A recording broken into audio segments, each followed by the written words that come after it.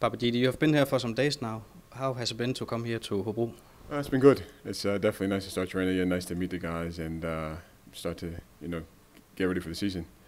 Um, it's been uh, actually the weather's been okay. Uh, it was cold the first day, my first day of training, but it's been nice uh, since then. Uh, do you have any personal goals with your stay here in Hobro? Personal goals, uh, more team goals, just to stay in the Superliga um, this half season. Uh, no real personal goals for this this half season. Just to play as much as I can and um, help the team as much as I can. Can you describe which type of player you are? Um, I'm a defender first, uh, and that's what I try and focus on. And uh, I'm a physical player, obviously, but um, I like to defend first and uh, focus on the defending. We have a lot of uh, central defenders in our squad right now. Why should the coach pick you instead of one of the other guys for his uh, starting lineup?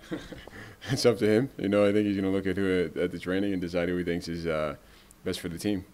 Um, uh, you know, I don't. I, I'm just coming to help. It's not. Uh, I didn't come here with a guarantee that I was going to play. You know, I know it's going to be a competition. I know there's a lot of us, so we'll see who who he picks to play. There have been some uh, confusion about how you should uh, pronounce your name, uh, mainly your last name. Can Yeah. you uh, say it out loud for us? Yeah, it's Ogunbi. Okay, thank you. Yeah, no.